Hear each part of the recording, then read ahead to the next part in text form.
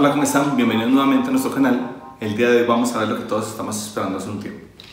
Sincronización del tiempo del gancho y la aguja.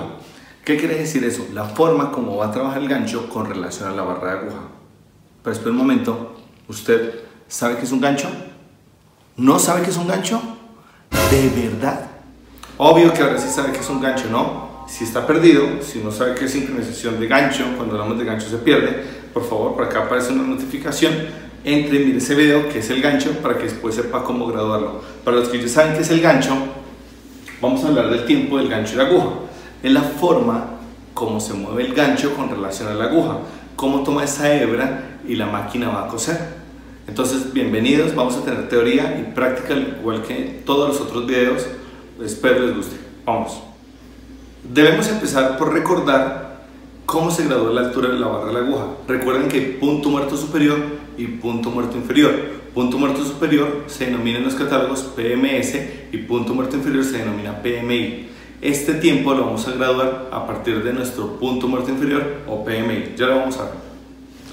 Cuando movemos el volante, vamos moviendo el volante, la aguja va subiendo y va bajando. Vamos a moverlo hasta que la aguja quede en su posición más baja. ¿Cómo se denomina eso? Punto muerto inferior. Y la aguja queda en su posición más baja. Si yo sigo moviendo el volante, la aguja va a empezar a subir. Nuestra aguja está en punto muerto inferior y vamos a comenzar a mover el volante y la aguja va a empezar a hacer qué? Correcto, va a comenzar a subir.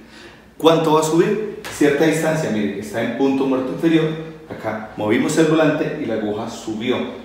Y si seguimos moviendo el volante, sigue subiendo. Pero ¿cuánto va a subir? En las máquinas PAF 463, 563, en algunas 491 y 591 Singer sube 1.8 milímetros. En otras, Sunstar, Brother, eh, Yuki, eh, Typical, otras marcas suben 2.2, 2.3 o 2.5 milímetros. Pero suben esa distancia y ¿qué sucede?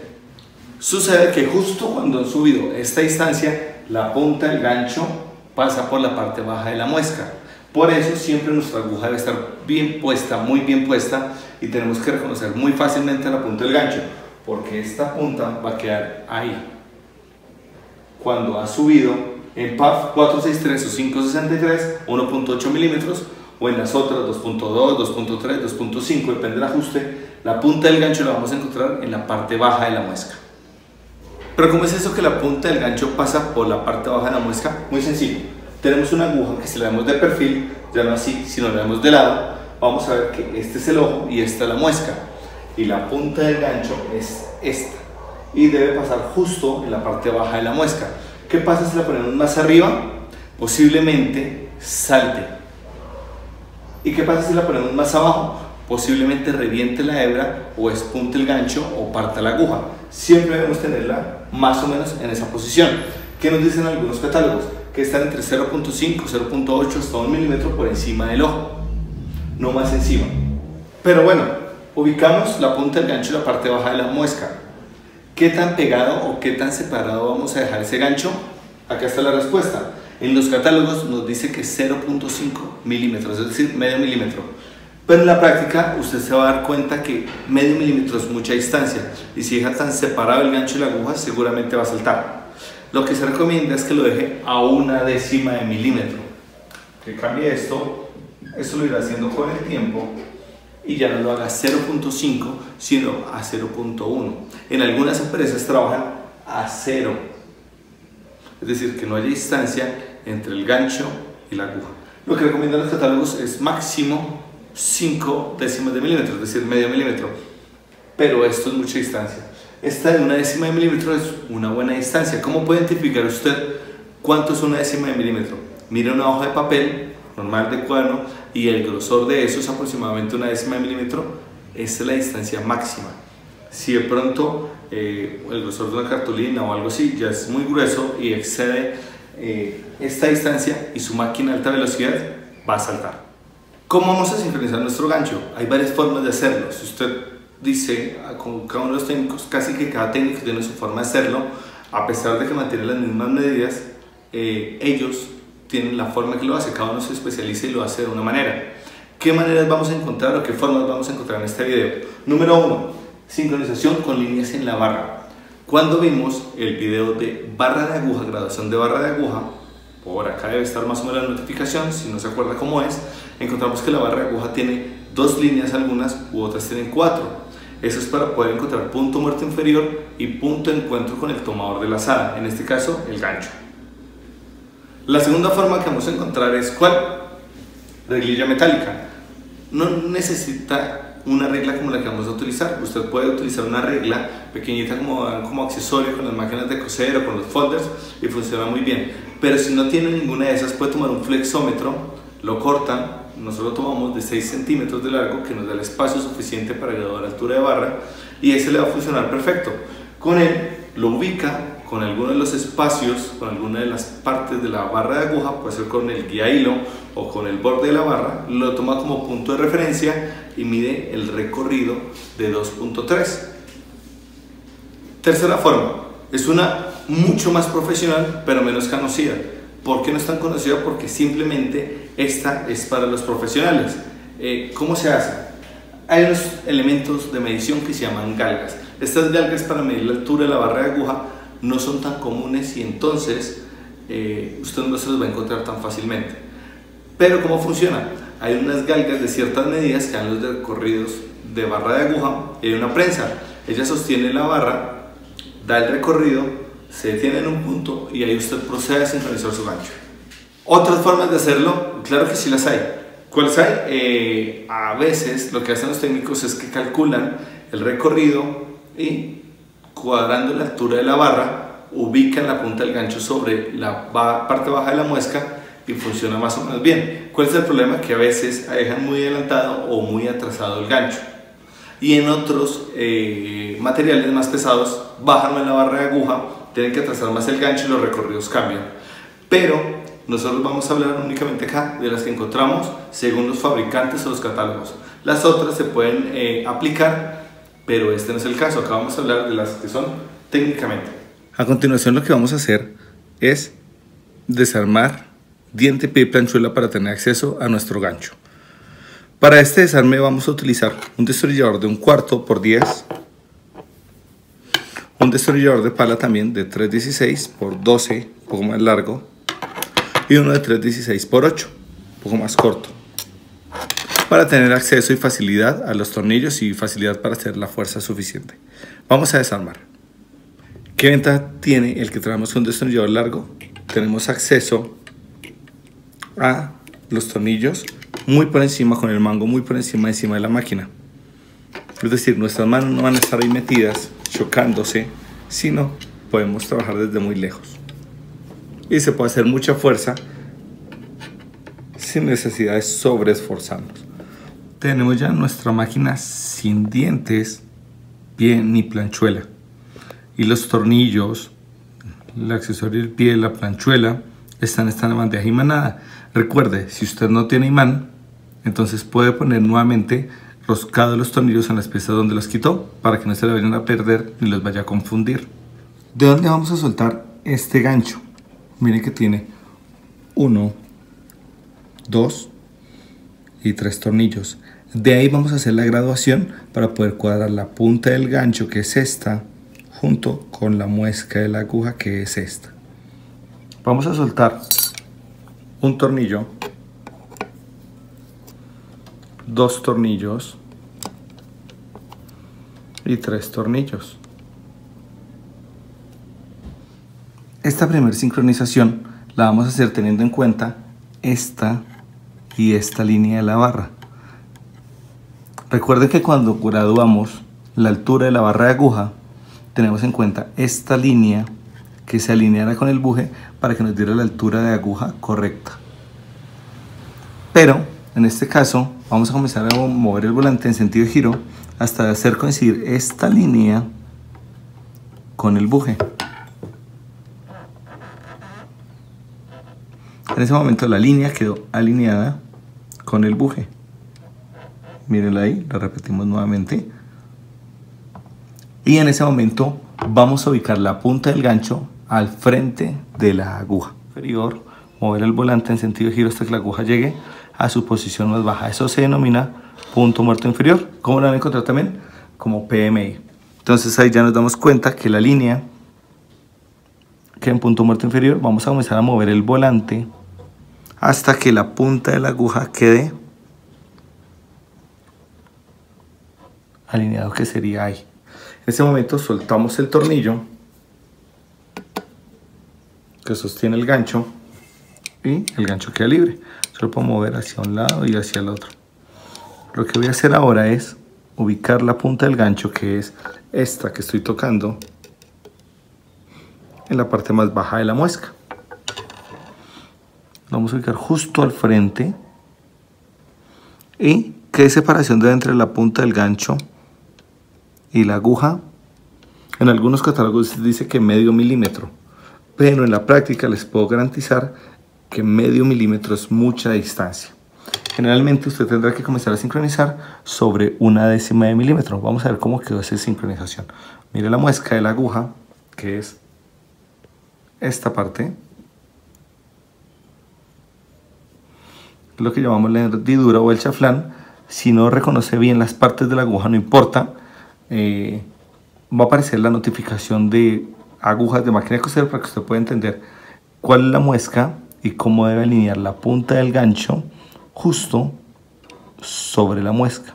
En algunos catálogos dice que un buen punto de referencia es ubicar de 0.5 a 0.8 milímetros la punta del gancho por encima del ojo. Pero simplemente con que usted lo ubique la punta en la parte baja de la muesca, tendrá el espacio suficiente para tomar la hebra, la aguja no chocará y en teoría la máquina coserá. Lo mismo, acá volvemos a dejar nuestra máquina en punto muerto inferior, es decir, en la posición más baja. Y si nuestra barra no tuviera estas líneas que vemos acá, entonces debemos tener un, eh, una reglilla o una galga. Vamos a hacerlo con la reglilla. Vamos a ubicar la reglilla acá o acá. Esto simplemente es un trozo de cinta métrica o un flexómetro que nos va a servir para tomar el recorrido de la barra de aguja. Entonces lo podemos ubicar acá o acá. ¿Y que vamos a buscar? Que esta parte o que esta o que esta la vamos a tomar como punto de referencia y que coincida con cualquiera de todas estas líneas. Vamos a ver si así coincide alguna. Si lo pueden ver, el 11 queda exactamente en el borde de la barra de aguja. Ahora vamos a comenzar a mover lentamente el volante en sentido de giro hasta que la aguja haya dado un recorrido de más o menos 2.5 milímetros. Cambiar de mano sin que esto se pierda. Subió un milímetro, dos milímetros y un poquitico. Ese poquitico lo debemos calcular. Recuerde que esta solo viene en milímetros. Bueno, en la parte de arriba vendrá en pulgadas y pies y en la parte de abajo viene centímetros y milímetros. Y el recorrido de esta barra de aguja antes del encuentro con el gancho puede variar entre 2.2 a 2.5 milímetros. Entonces, como no podemos calcular sino de milímetro en milímetro, tenemos que calcular el punto 5 o el punto 3. Ahí donde está lo que vamos a hacer es ubicar la punta del gancho al frente de la aguja. Como ven, este gancho está descuadrado. Vamos a hacer que la aguja llegue a su posición más baja. Y vamos a ubicar nuestra reglilla, que realmente es un trozo de flexómetro. Vamos a ubicarla en un lugar firme, ya sea en el borde del buje o en el borde de la barra. Miren que el borde de la barra, ahí no coincide exactamente, y ahí sí coincide exactamente 2 milímetros antes del 8, no 3 milímetros antes del 8. Vamos a comenzar a mover el volante para que la aguja empiece a subir. 1 milímetro, 2 milímetros y por ahí. En este momento vamos a ubicar en este punto, el 2.3, la punta del gancho al frente de la aguja.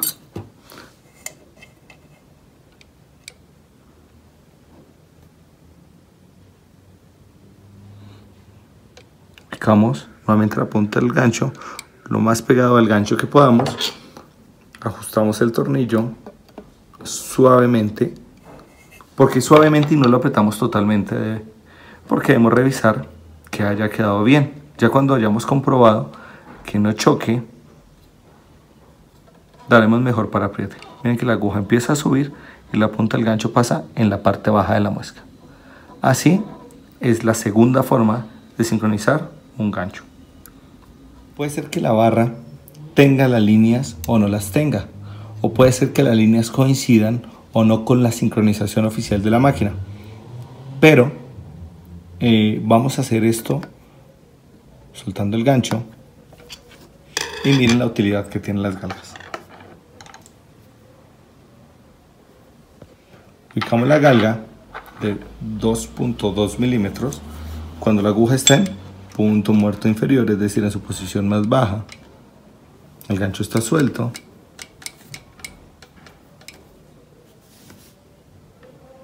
Y nuestra galga de 2.2 lo ubicamos acá. sostenemos firmemente y miren cómo debe quedar. En ese momento retiramos nuestras galgas y este espacio es el recorrido que hace la aguja para que el gancho pase tomar el lazado. Ubicamos y la barra se detuvo. Ven que si yo quiero mover la barra, ella va a detenerse en ese punto. En ese momento sostenemos la punta del gancho y lo ubicamos al frente de la aguja. Ajustamos el tornillo.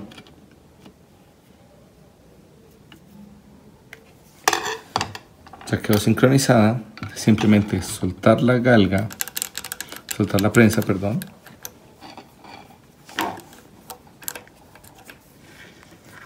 Y la máquina quedó sincronizada vamos a ver ahora desde otros ángulos este gancho está suelto lo vamos a mover para que nos dé el espacio para que la aguja no choque y vamos a ubicar la aguja en punto muerto inferior como esta sincronización la vamos a hacer con galgas, esta la vamos a hacer en dos vistas. La vamos a hacer en dos partes para que usted pueda entender finalmente cómo son de útiles nuestras galgas. Para que usted, si en algún momento piensa comprarla, se da cuenta que la sincronización es mucho más rápida y es más precisa cuando lo hace de este modo. Vamos a hacerlo. Entonces, ubicamos nuestra aguja en punto muerto inferior nuevamente. Vamos a ubicar nuestras galgas y la prensa que la sostenga. Hacemos un poco de presión y ajustamos. Vamos a mover la galga la barra de aguja lentamente y cuando la barra se detenga, miren que ahí chocó, se detuvo, no quiere decir que se chocó, vamos a ubicar la punta del gancho al frente de la muesca. Ubicando la punta del gancho justo al frente del agua. Ajustamos suavemente el tornillo. Vamos a revisar nuestra prensa, no deja mover la barra, soltamos y retiramos y vamos a fijarnos en cómo quedó el tiempo de gancho con relación a la aguja. Mire que la aguja llegó, bajó, punto muerto inferior y cuando empezó a subir la punta del gancho pasa en la parte baja de la muesca a una separación de una décima de milímetro. Ahora vamos a ver la sincronización con galgas desde otro ángulo. Vamos a verlo ahora desde otro ángulo, como si usted fuera el técnico usted fuera la persona que lo va a soltar. Lo primero que vamos a hacer es soltar el gancho. Solo está tomado ahorita de un tornillo. Lo aflojamos y el gancho ya está totalmente descuadra. Vamos a hacer que la aguja llegue a su posición más baja, es decir, ahí. En ese momento el gancho ya está en la aguja ya está en su posición más baja. Vamos a tomar la galga, vamos a ubicar al frente de la aguja, ubicamos nuestra prensa, ajustamos un poco la prensa para que asegure bien, quitamos nuestra galga que es esta, y vamos a mover el volante. Miren que la aguja, la barra aguja suena cuando choca, no es por el gancho, sino porque ya está en la posición en la que hay que sincronizarlo. Simplemente es ubicar la punta del gancho al frente de la aguja, revisando que nuestra aguja no quede flexándose, ajustamos el tornillo suavemente, quitamos la prensa,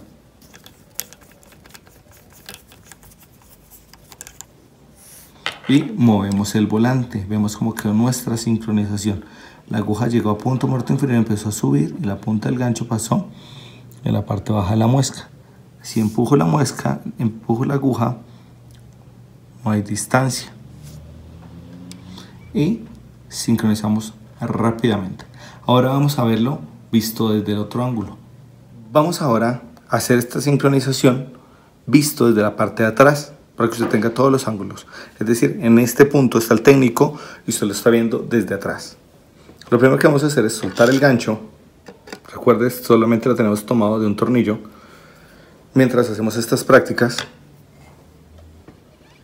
movemos la aguja hasta que llegue a su punto más bajo, es decir, punto muerto inferior. Yo estoy acá sosteniendo el gancho para que no se gire y no vaya a flexar la aguja de esta manera. Lo sostengo así y dejo que la aguja llegue a punto muerto inferior, es decir, ahí.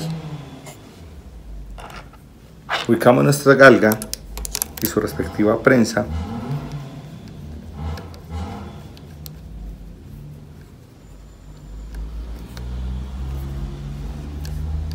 Ajustamos y movemos el volante hasta que la aguja se detenga. Miren que yo sigue chocando porque es la prensa que choca contra el buje. En ese momento ubicamos la punta del gancho Recuerden, si se puede correr hacia acá o hacia acá. Pero si yo lo pego mucho, va a quedarle pegando la aguja. Hay que buscar la distancia perfecta de separación, que debe ser máximo una décima de milímetro. Revisamos. Miren que si yo empujo la aguja hacia allá, se alcanza a flexar un poquitico hacia acá. Ajusto el tornillo en ese punto.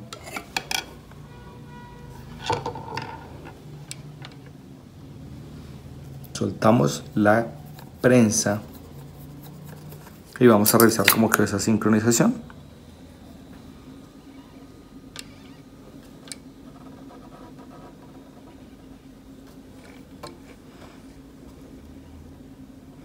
La punta del gancho quedó flexando la aguja, es muy sencillo. Simplemente es tomar y correr hacia la derecha.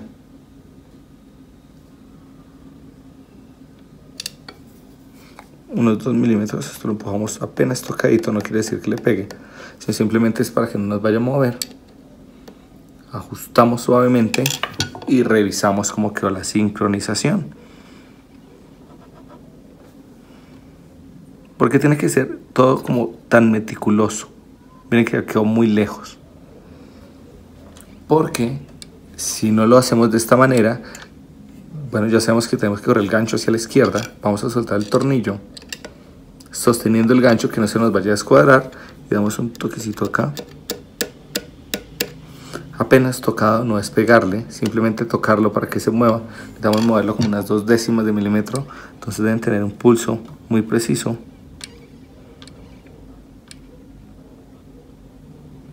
Y la aguja, si lo ponemos acá al frente, ya no se flexa. Miren que yo lo puedo empujar y ya no se mueve. ¿Por qué tiene que ser esto tan meticuloso? Porque si usted no tiene esta preparación y no hace esto también, su sincronización quedará mal. Y si usted es el técnico y el operario espera que su sincronización sea precisa para poder sacar producción, va a tener inconvenientes porque su sincronización no va a dar confianza. Y si usted es la persona que tiene la máquina, pues lo que va a pasar es que no va a quedar su máquina trabajando. Por esto esta sincronización del gancho es tan meticulosa porque acá depende que la máquina cosa o no cosa. ¿Qué pasa si nosotros soltamos el gancho y dejamos que la aguja baje y le pegue a esta parte o acá o que choque en la punta? Se nos puede romper. Y en ese caso tendrán que cambiar gancho o eh, cambiar la parte o bajarla o comenzar a dar lija y el gancho va a perder vida útil. En caso que se haya chocado no, pero si se rompió una parte, debemos cambiarlo. Si se rompió, por ejemplo, la punta, tendremos que cambiarlo. Listo, entonces después de que vemos que esto está muy bien y estamos muy seguros, ya lo que sigue es apretar este y este tornillo, que son los que quedan pendientes, y el gancho estará listo para coser. ¿Cuándo vamos a sincronizar una máquina plana? ¿Cuándo vamos a mover el tiempo del gancho? Seguramente cuando la máquina salta. Como le dicen también al salto apuntado, que la máquina bastea. ¿Qué es? La máquina va cosiendo bien y saltó. Sigue cosiendo bien y saltó. Va cosiendo bien y saltó nuevamente. En ese caso, tendrá que revisar aguja, altura de barra, que la aguja esté bien, que esté bien enhebrada y posiblemente tendrá que mover tiempo de gancho. ¿Qué otro daño tendremos para que tengamos que mover tiempo de gancho? Seguramente si le está rompiendo agujas. Posiblemente la barra está mal y seguramente el gancho se corrió. O se rompió una aguja, la barra se corrió y el gancho se giró. En ese momento pierde el tiempo. ¿Qué hace este tiempo del gancho? Hace que la máquina cosa y genere esa puntada. Entonces cuando se corre pues deja de coser. Revienta la hebra superior. Seguramente si el gancho está muy lejos de la aguja, usted tiene una aguja calibre 120, pasó a un 80, la punta del gancho queda muy lejos de la aguja y va a empezar a saltar o a reventar la hebra. Cuando pasa eso es que la punta del gancho o está en mal estado, tiene filos o escoriaciones o está muy lejos de la aguja. Y por X o Y motivo usted tuvo que cambiar el gancho, obligatoriamente lo instala y debe sincronizarlo, si no su máquina va a quedar fuera de servicio. Bueno, con esto terminamos. Muchas gracias por vernos. Recuerden suscribirse, darle manita arriba, compartir con sus amigos, con sus familiares si la información les gustó. Eh, vean este video y practíquenlo en una máquina plana, hagan varios intentos hasta que lo logren hacer muy bien. Cualquiera de estos métodos está bien, es decir, depende de lo que usted le considere más fácil, le parezca más fácil, practíquelo y perfeccionelo. Gracias y hasta una próxima oportunidad.